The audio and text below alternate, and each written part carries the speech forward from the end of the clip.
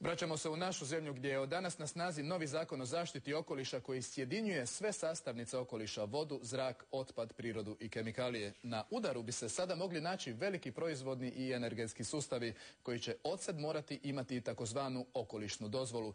Zakon stupa na snagu točno na dan kada su se Hrvatske udruge za zaštitu okoliša obratile klubu Europske stranke zelenih u Europskom parlamentu sa zahtjevom za hitnom intervencijom prema hrvatskim državnim tijelima zbog nefunkcioniranja zaštite okoliša.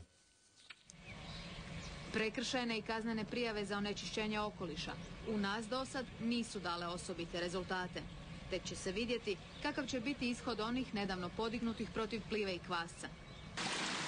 Međutim, novi zakon inspektorima daje snažan nadzorni instrument, okolišnu dozvolu.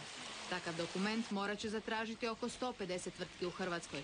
Obnavljat će se svakih pet godina, a ne bude li se tvrtka držala slova zakona, mogla bi dobiti privremenu, pa čak i potpunu zabranu rada.